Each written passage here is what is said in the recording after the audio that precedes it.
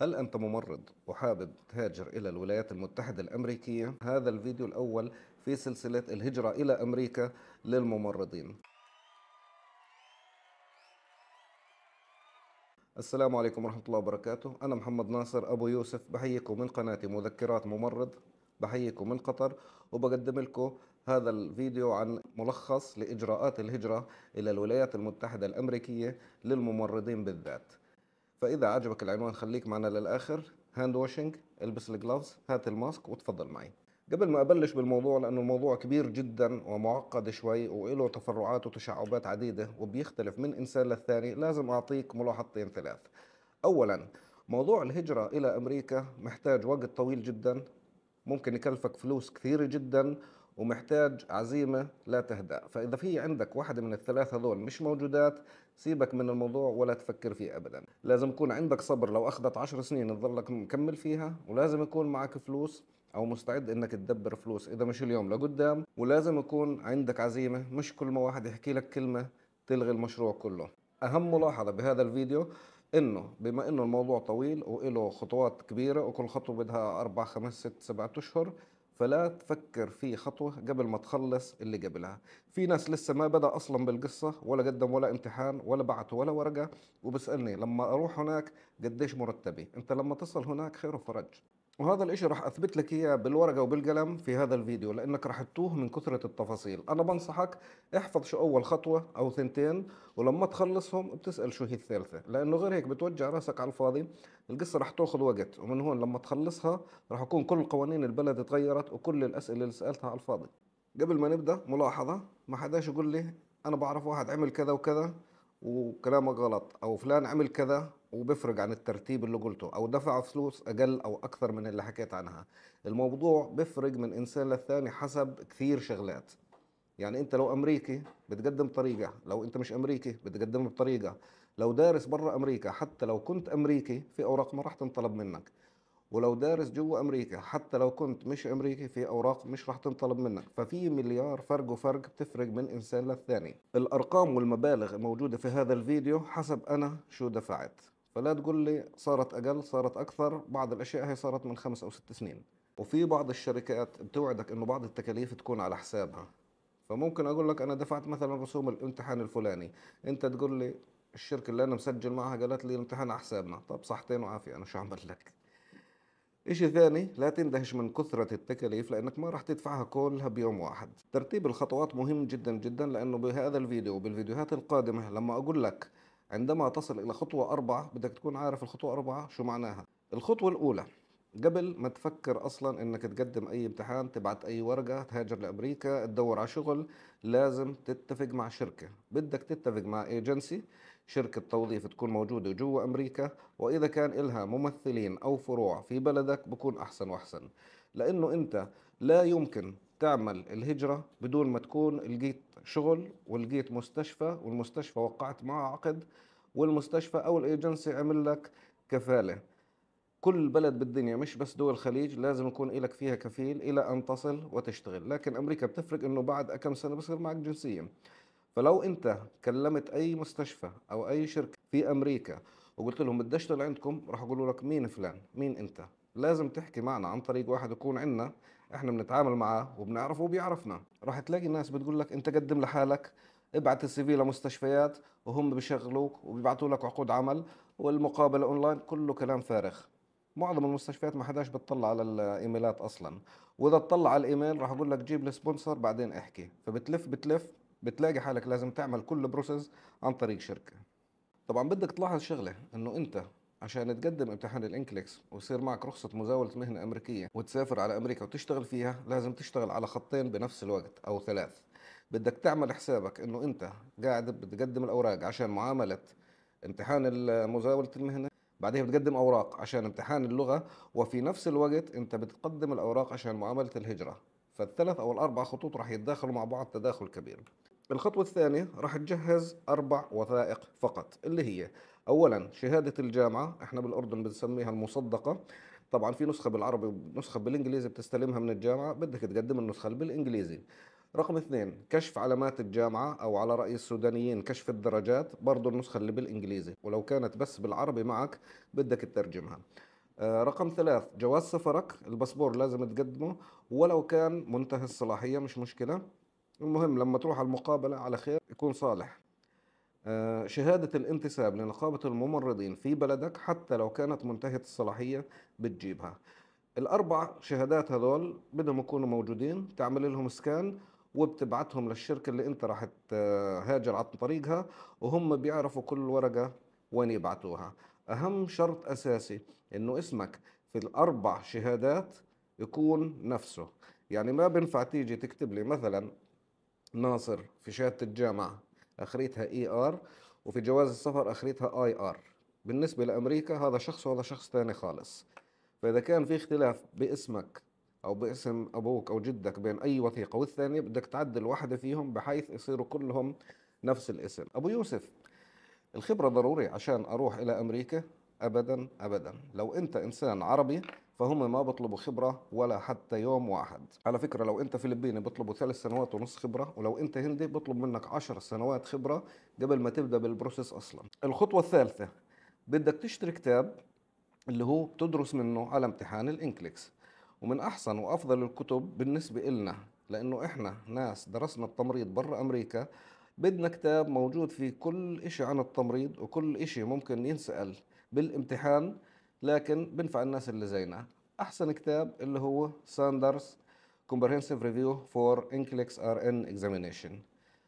آخر مرة سألت عنه كانت النسخة الثامنة موجودة. أظن التاسعة نزلت. هو سعره بحدود 50 52 55 يعني تقريبا 80 دولار. الخطوة الثالثة هذا الكتاب بدك تشتريه وبدك تدرس استراتيجيات الامتحان الامتحان له استراتيجيات معينة. يعني الأسئلة ما بتيجي هيك كيف ما كان. في استراتيجيات معينة عشرة أظن.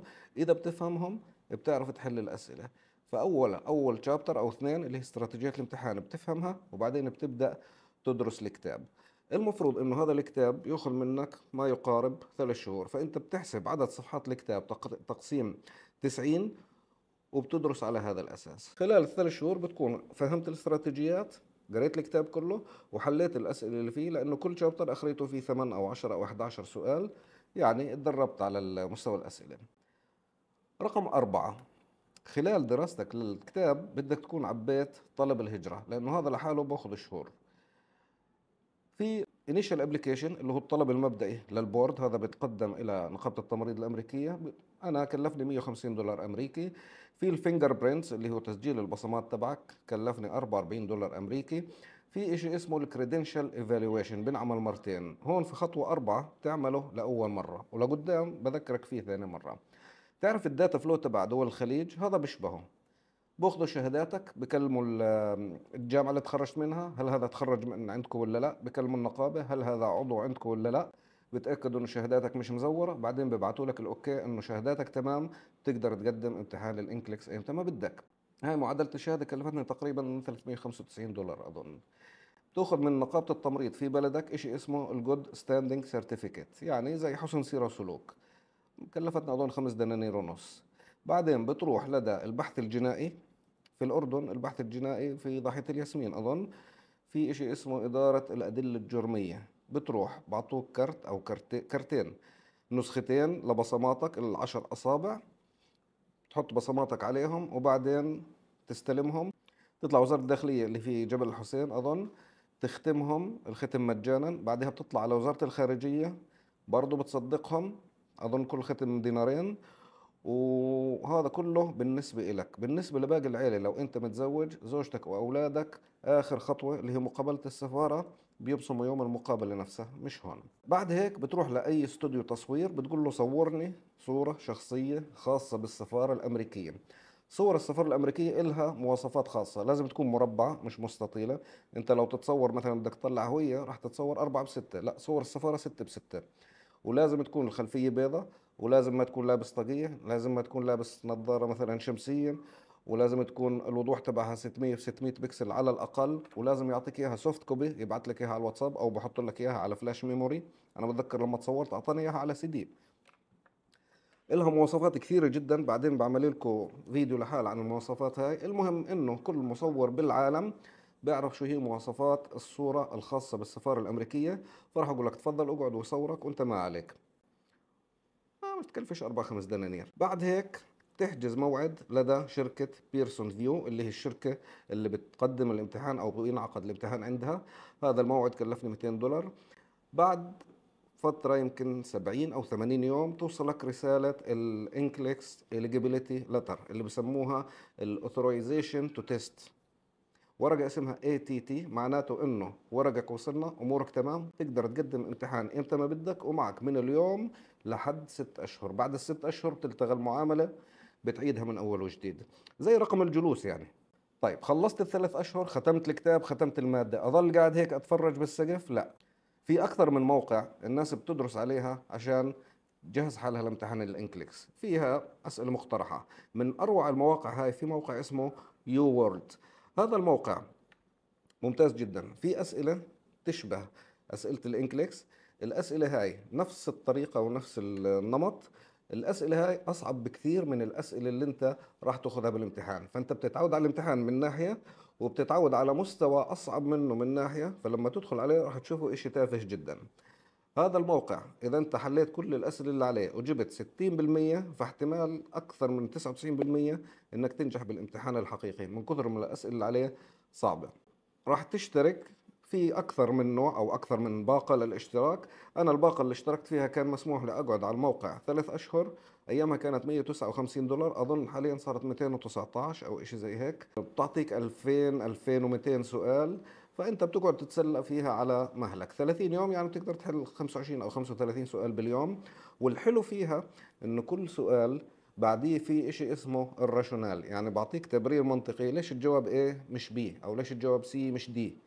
وراح تلاقي في هذا ال rationale تبع كل سؤال في معلومات مهمة جدا مش موجودة بكتاب ال Saunders وممكن تنسأل عنها في امتحان ال NCLEX الحقيقي. الموقع ممتاز جدا وكمان في إشي اسمه ال statistics بوريك في كل امتحان انت قديش جبت صح وقديش جبت غلط بوريك في كل جزء من الكتاب انت وين كنت مبدع وين كانت ال weakness عندك بوريك انه الجزء الفلاني انت جبت فيه علامة كاملة الجزء الفلاني انت لازم تعيده من أول الجزء الفلاني انت نص نص. فأنا مثلا درست الامتحان بعد ما خلصته اكتشفت إني أنا في ال maternity على البلاط فرجعت درسته من أول وجديد. عادي جدا. تستفيد كثير منه. بعد هيك بتكون حددت الدولة المكان والزمان لامتحان ال NCLEX. انت درست المادة ثلاث شهور وقعدت على موقع ال UWorld ثلاث شهور. قبل ما تخلص بشهر زمن بتبلش تدور على مكان تقدم فيه الامتحان لأنه الضغط كبير فلازم قبل بشهر أو شهرين تحجز لك موعد. وبدك تشوف حسب الدولة اللي انت بدك تقدم الامتحان فيها في دول تشترط إنك تطلع فيزا في دول لازم تطلع الفيزا أول ما توصل من المطار نفسه بتطلع الواقف. في دول لازم تطلعها قبل ما تسافر. الامتحان وين موجود؟ الامتحان موجود في الولايات المتحدة. طبعا صعب جدا إنك تسافر عليها من أولها لكن موجود في كل ولاية أكثر من مركز. تقريبا كل ما تمشي 20 أو 25 مايل في أمريكا في مركز. الامتحان بتقدم في لندن في بريطانيا. الامتحان له مركز امتحان وحيد في الفلبين كلها. له 12 أو 14 مركز في الهند. لفترة من الزمن تقريبا لحد 2019 كان أقرب مركز. أنا نفسي قدمت في الهند. في تايوان أظن في مركز أو أكثر في اليابان في مراكز في أستراليا وفي كندا وفي المكسيك والصين وكوريا الجنوبية. هونغ كونغ تأخذك بدون فيزا إذا بدك عشان تقدم الامتحان. وخلال آخر سنتين فتحوا في إسطنبول أظن في تركيا مركز. وقبل كم شهر فتحوا عندنا بقطر مركز فتح يمكن شهر أو شهرين وفي ناس قدمت فيه ونجحت ورجع سكر. وسمعت إنه رجع فتح ما مش متأكد من المعلومة. بس أظن إنه شغال. وفي ناس انعرض عليهم إنه يقدموا في مركز في تل أبيب لكن ما رضوش طبعا أنتم فاهمين ليش. طلع في مركز انكليكس في تل أبيب. المهم رسوم الامتحان نفسه على أيامي كانت 177 دولار. بعرفش إذا ارتفعت ولا لسه. شوف أنت من الآخر أي رقم تسمعه في هذا الفيديو زيد عليه 10% عشان تكون بالسليم. لأنه أنا مبلش بالقصة من ست سنوات. الخطوة التاسعة اللي هي إنك تسافر تعمل الامتحان وترجع إلا إذا أنت أصلا موجود أو مقيم في البلد اللي فيها الامتحان. مثلا أنت في قطر أو في تركيا أمورك ميسرة. لكن أنا مثلا لما قدمته بال 2018 طلعت على الهند عملته وقعدت فيها ثلاث أيام وروحت. فكلفتني بس تذكرة الطيارة تقريبا 380 دينار روحة رجعة. أنا أصلا رحت ترانزيت ورجعت ترانزيت لو رحت direct كان طلعت أكثر. آه الفندق اللي قعدت فيه طبعا ما كانش five stars بس كلفني الثلاث أيام تقريبا 80 دولار أمريكي. مصروف جيبي في الثلاث أيام ما كلفتنيش 15 دينار. الهند أيامها كانت أقرب دولة الفيزا إلها سهلة جدا. بتقدم على الفيزا قبل ما تطلع من بلدك خلال ثلاث أيام بعطوك ال okay. وأول ما توصل إلى مطار هندي بتوريهم الفيزا فبيطبعوا لك إياه وبدخلوك على البلد. على أيامنا كان أقل فيزا ثلاث أشهر 80 دولار. هسه صار في إشي شهر وصار في إشي ست أشهر وإشي سنة وقد ما بدك كل واحدة إلها سعر مختلف. أنت بدك إياها ثلاث أربع أيام اختار أرخص واحدة. بتروح على البلد بدك إياها بتقدم الامتحان وفيما بعد راح أعمل لك فيديو تفصيلي بالملي عن يوم الامتحان وبتقدم الامتحان وبترجع على بلدك. المفروض إنه نتيجة الامتحان تصدر بعد ثلاث أيام بشكل مبدئي. ببعثوا لك إيميل بشكل مبدئي أنت ناجح أو لا. المفروض إنه بعد 18 أو 20 يوم عمل ببعثوا لك إيميل تفصيلي إنه أنت نجحت ولا لا. هذا هو المعتمد مش النتيجة الأولوية. فأنت لو قالوا لك أول شيء أنت راسب الإيميل الثاني راح يقولوا لك الجزء الأول رسبت الثاني نجحت الثالث رسبت الرابع نجحت. والامتحان تقريبا تسع أجزاء. فإذا رسبت بترجع للنقطة اثنين بتجيب نفس الشهادات وبتسجل نفس التسجيل وبتمشي بنفس الخطوات وتقريبا نص المبالغ اللي دفعتها بترجع تدفعها مرة ثانية. واذا نجحت كمل إلى الخطوة التالية وما بعدها. راح تسألني الامتحان أكم مرة مسموح لي أعمله؟ مسموح لك تعمله خمس مرات خلال ثلاث سنوات من تقديمك للامتحان لأول مرة. أبو يوسف امتحان الإنكليكس هذا له تاريخ انتهاء. يعني لو أنا قدمت الامتحان وقعدت مثلا ثلاث سنين أو أربع سنين لسه ما أجانا مقابلة. لازم أعيده قبل ما أهاجر لأمريكا؟ لا. الامتحان نفسه كامتحان بتقدمه مرة بالعمر. إذا نجحت بتأخذ رخصة مزاولة المهنة. الرخصة هاي بتتجدد كل سنتين. طبعا الرخصة عشان تجددها في لها شروط. اولا تدفع فلوس ثانيا راح يعطوك عدد معين من الدورات لازم تأخذه. تختلف من ولاية لولاية. ممكن يقول لك خذ 40 ساعة 60 ساعة 90 ساعة. من ولاية لولاية بتفرق. أنا مثلا معي آه، رخصة نيو مكسيكو. قالوا لي بتأخذ 60 ساعة دورات. وبتدفع أظن 90 أو 100 دولار بنجدد لك إياها لسنتين. طبعا ملاحظة تجديد الرخصة بيكون من سنة لس بعد بسنتين مش ل 31 12 بكون لحد تاريخ ميلادك. فأنت لو عملت الرخصة مثلا مثلا عملت الرخصة أول مرة 1 1 2024 ما بجدد لك إياها ل 1 1 2026 أنت مثلا عيد ميلادك 14 8 بجدد لك إياها ل 14 8 في أربع أشهر راحوا عليك. بعديها بتصير تتجدد. سنتين بالضبط من عيد ميلادك لبعديها بسنتين عيد ميلاد. انت فاهم كيف؟ يعني أنا مثلا عيد ميلاد 14 8 مع رخصة حاليا سارية المفعول من 14 8 2023 ل 14 8 2025 الفيديو الجاي راح أقول لك المرحلة الثانية إيش راح تعمل فيها. باختصار خليك معنا لأنه في تفاصيل كثيرة وإن شاء الله الجميع يستفيد. لو عجبك الفيديو لايك للفيديو اشترك بالقناة فعل زر الجرس فعل زر الجرس عشان يوصلك جديدنا أول بأول. اتأكد إنه الإشعارات محطوطة اول اول وشكرا لكم السلام عليكم ورحمة الله وبركاته.